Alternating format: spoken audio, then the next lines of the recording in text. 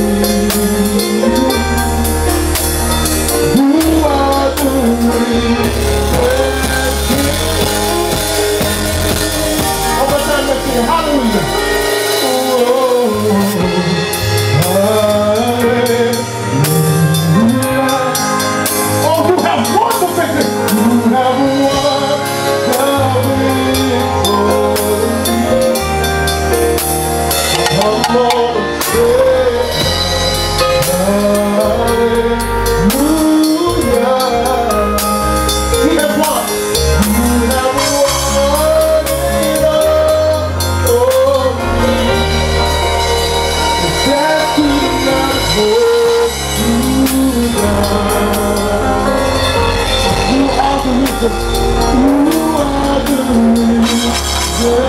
the reason.